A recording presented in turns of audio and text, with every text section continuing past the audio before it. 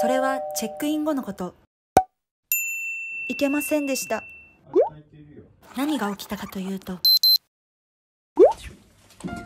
今からプールへ行きたいと思います。ねねなんかさインスタの写真とか見るとさめっちゃいい感じのプールなんだよね。ローマです。みたいな。っていう感じ。わかんない。っていうイメージ楽しみ。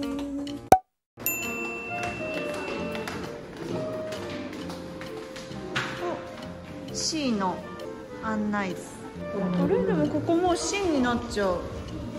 パン。ほらそこで知ってしまったのです。悲しいです。プール受付終了だそうでございます。明日の朝リベンジしますね。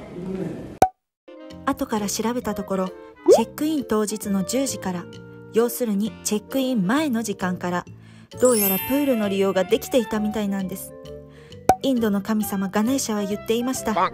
しっかりと綿密に調べて事前に計画を練っておくことが大事だと。リベンジ戦です。今は時刻9時半でございます